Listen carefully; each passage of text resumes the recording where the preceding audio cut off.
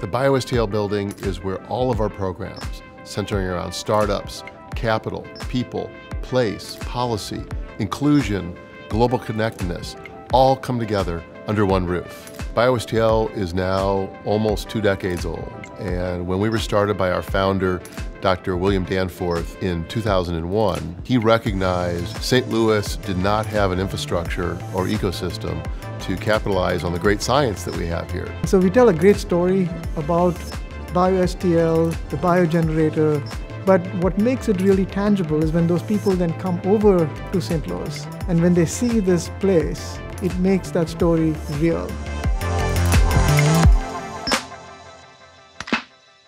It can accommodate research done by a really broad spectrum of companies. Some are in therapeutics, some are in medical devices, some are in diagnostics. If it weren't for BioSTL and Biogenerator, Canopy simply would not exist. Biogenerator was with us from day one. Had it not been Biogenerator, you know, and having this great ecosystem and infrastructure, the Cortex, I probably would have left. So for any innovation district, it's the bricks and mortar, the buildings, the special amenities are important, right? But what really drives the value proposition is an offering like BioSTL. You have a lot of choices to say, where's the best place in the world for me to build my business?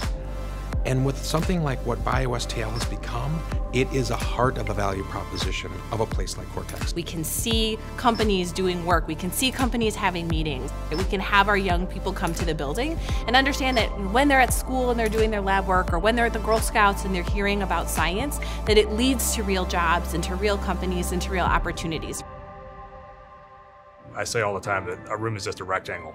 And so it can literally be anything. The more we can sort of live that and build the space so it can constantly change, the better we can solve problems on an ongoing basis. We are indebted to Washington University and its leadership for having the vision to make this building available to be converted into this epicenter of bioscience for St. Louis. We had a very large building that took a lot of vision to see how to reuse, and I think they did a great job of doing it. It's very cool to be in a building that 90 years ago was the home to cutting edge innovation for the St. Louis Post Dispatch. And that was very innovative at that time. And now, BioSTL is very innovative in bringing so many new products, new research, new jobs, new energy to St. Louis. It's a privilege to come into this building every day, working alongside individuals and startups who are developing cures for disease and working to solve some of the most difficult world challenges.